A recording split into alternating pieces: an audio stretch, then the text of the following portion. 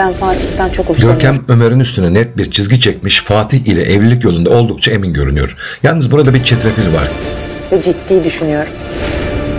ki o da nedense Ömer'in her şeyi Fatih'e anlatsa ki en son çare bunu yapabilir Ömer.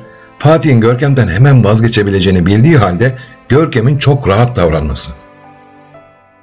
Bir yandan garibim Doğa aldatılma falan her şeyi unutmuş ve neredeyse Fatih'in bekar konumunu kıskanıyor gibi görünüyor. Ve Kıvılcım bu konuda onu uyarıyor. Hoş, Kıvılcım da arkasında bıraktığı Ömer'den hala aşk bekliyor ya. Neyse.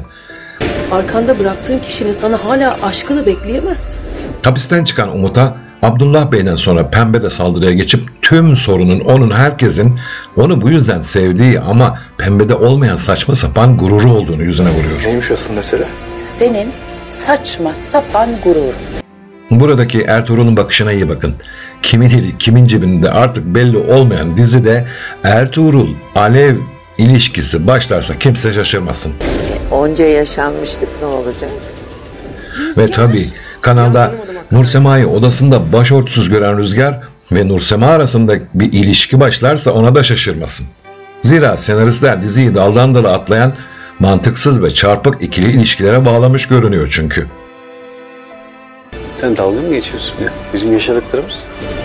Fatih ile birlikte olmakta direnç gösteren Görkem'e sen dalga mı geçiyorsun ya bizim yaşadıklarımız diyen Ömer'e bakışına bir bakın hele Görkem'in.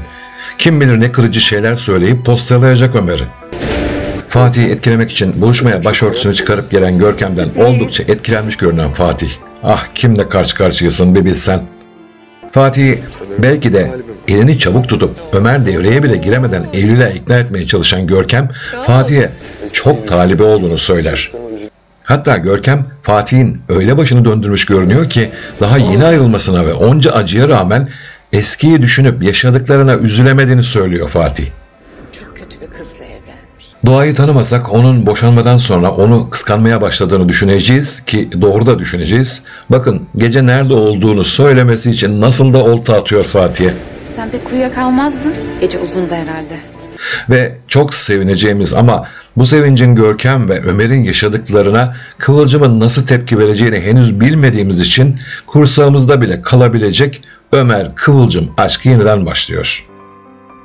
Bu içeriklerin devamı için de videoyu beğenip kanalıma abone olursanız sevinirim. Teşekkürler sevgili dostlar.